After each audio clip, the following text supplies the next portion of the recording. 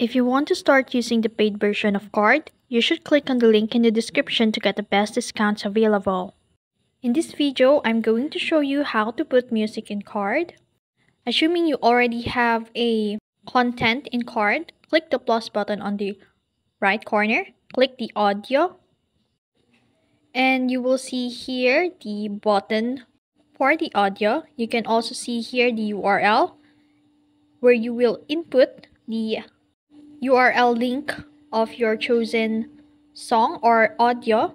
You can also see here the accepted URL which is from Bandcamp or Google Drive or SoundCloud. Let's assume we already have a link for our music.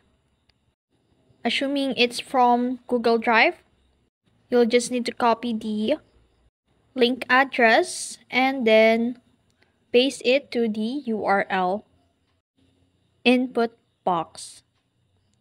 After that, once you already paste it, you can now publish the content you've created and once it's already published, users can click the audio to start if they wish. And also, if you want to a autoplay features for your content, when you add a music, you would need to embed a third-party music player with an autoplay feature.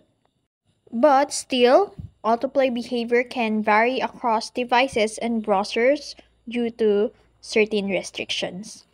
And that's it. That's how you add a music on Carrd. If you found this video helpful, don't forget to like, share, and subscribe to the YouTube channel.